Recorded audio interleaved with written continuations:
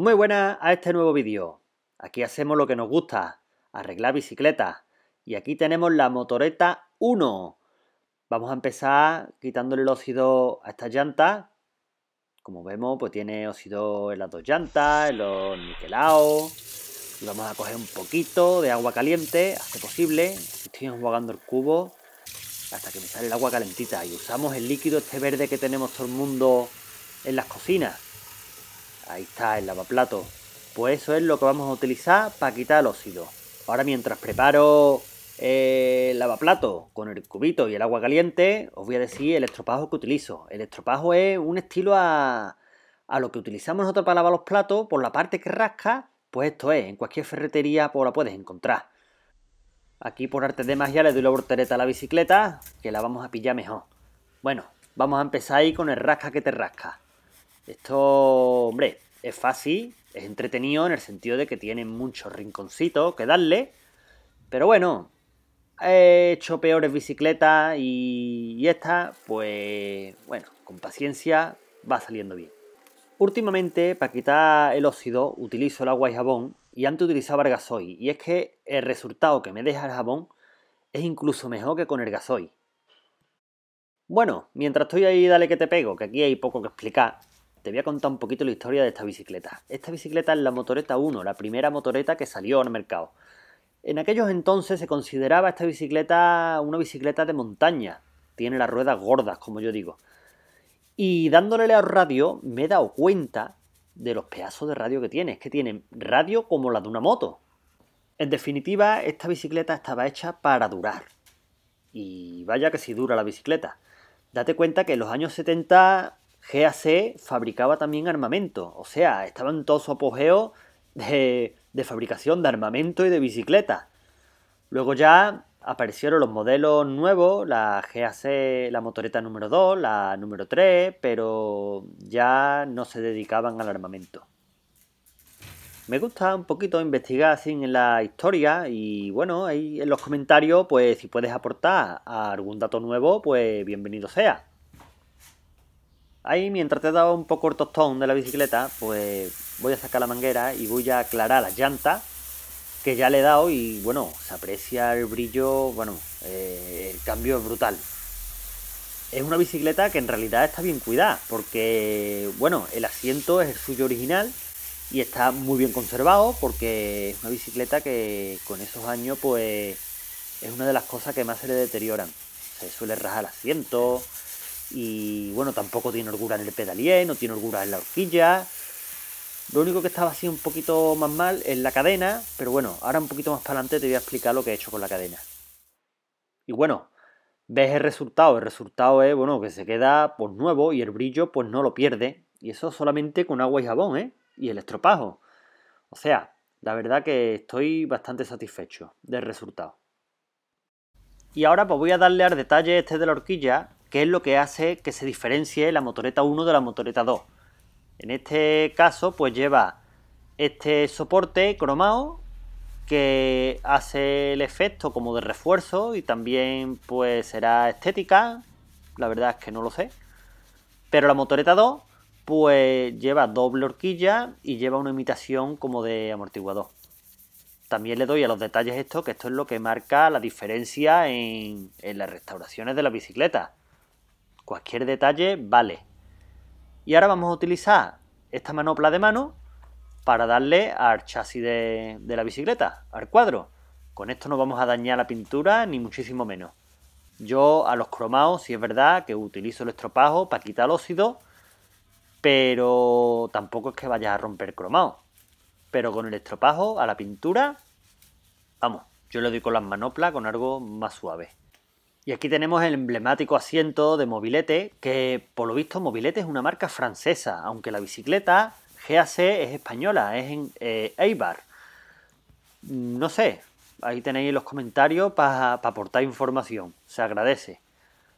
Como veis el asiento está intacto, impoluto. Y bueno, cómodo, no, lo siguiente. Y ya, pues bueno, con un trapito suave, seco, Vamos a quitar lo que sobra del agua. A mí me gusta secar la bicicleta, que no se quede el agua por ahí a sus anchas, para que no cree óxido ni nada de eso. Y bueno, vamos a intentar ahora cambiar los pedales. Con los pedales, pues he tenido una duda también, porque esto originalmente trae pedales de la marca Notario. Y he conseguido otros pedales que son muy parecidos a los Notarios. Lo que pasa que los pedales son de Vespino. ¿Veis? La V creo que es de Vespino, pero vamos, que son los pedales de Vespino. Y hay cierta diferencia en las roscas. Esto al principio enrosca bien, pero luego se pone duro y no llega a enroscar, no sé, puede ser que haya alguna variación en el paso de rosca. Os lo digo por si restauráis alguna. Hombre, que no nos carguemos los pasos de rosca porque estas bielas tampoco que se encuentren tan fácilmente. Y el timbre este pues lo voy a jubilar ya. Este me parece que ya lo ha dado todo y ya no ya no va a sonar más. Así que como veo que sobran el manillar, pues lo vamos a quitar del medio. A mí me gustan los, los detallitos estos, pero bueno, le falta la parte de arriba, entonces ¿para qué lo quiero?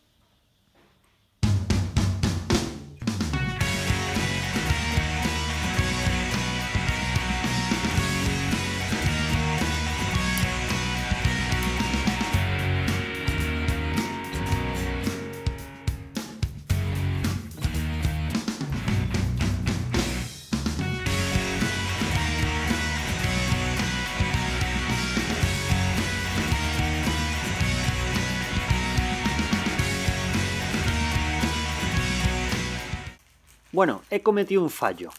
La cadena yo ya la he arreglado.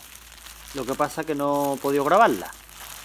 Yo os prometí que, os iba a enseñar cómo arreglar la cadena, pero bueno, yo os lo voy a explicar y ya está. Te voy a enseñar así un poquito por lo harto de cómo se ha quedado. Esto parece que lo he comprado nuevo. Pero bien, vamos a ver ahora cómo era antes. Esta bicicleta, la cadena, venía en muy malas condiciones muy malas condiciones en el sentido de que estaba oxidada y estaba cogida. Vamos, sigue estando cogida. Pero lo primero que voy a hacer va a ser quitar la cadena, porque encima de todo es que tiene, a ver si se ve. Voy a ver si se ve. Esto no lo podía hacer antes, cuando me vino la bicicleta. Eh, ¿dónde? Mira, aquí está. Ay, se me va ahí. Bueno, mira. Aquí. A ver, ¿dónde está? Aquí. Mira, aquí tenemos un tornillo, a ver si se aprecia así. Mira, ve que tenemos aquí un tornillo, aquí. A ver si enfoca, bien. Ahí, tenemos un tornillo que se quita y podemos quitar la cadena fácilmente, solamente con un tornillo. Es su cadena de origen, estoy por decir que es su cadena de origen. Pues bueno, este es el resultado de la cadena, al final. Ni yo me esperaba que esto se iba a quedar así. Y esto ha sido, bueno, en un principio dije que lo iba a meter en Coca-Cola, pero bueno, yo me estoy informando y me han dicho que eso no, que la Coca-Cola no, no vale. Esto ha sido que yo lo he dejado 24 horas metido en vinagre. En vinagre de este normal que usamos nosotros en la caza para la ensalada, para que yo se lo echaba a la cadena. Vinagre de vino. Y luego, sí es verdad que le he dado con un poquito de. con, con un cepillo de alambre. Y es que se ha quedado estupendamente. Y luego lo he dejado otras 24 horas metido en aceite. ¿Ves? Y este es el tornillo que lleva de pasador, o sea que la cadena se quita y se pone estupendamente.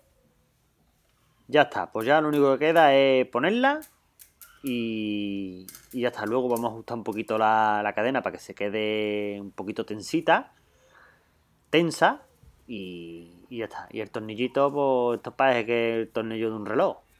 tiene una tuerca más chiquitilla ahí que como se te caiga te tiene que poner las gafas para buscarla. Anda que no varía nada tener la bicicleta así en condiciones, porque antes tenía los eslabones cogidos, oxidada, y la bicicleta pues iba pegando como sarto. Y ahora va la bicicleta fina, fina, fina con la cadena bien engrasadita, o sea, como las cosas como tienen que ir.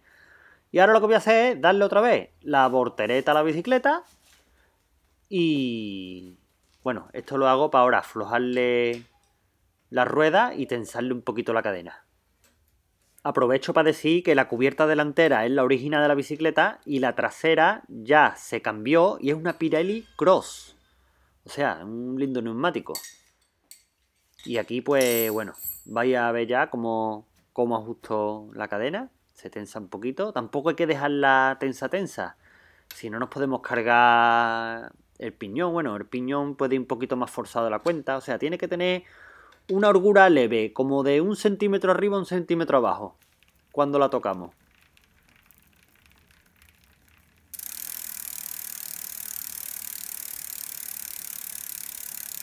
Venga, que yo sé que estás deseando de la bicicleta.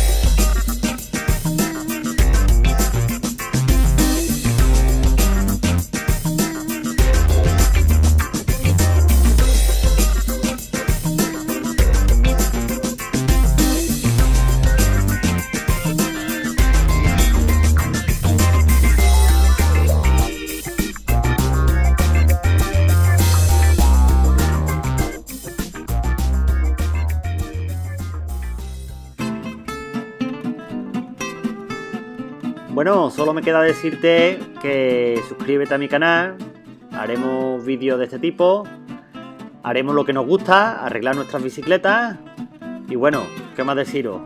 Un saludo a todos y gracias por aguantarme este ratito. Hasta luego.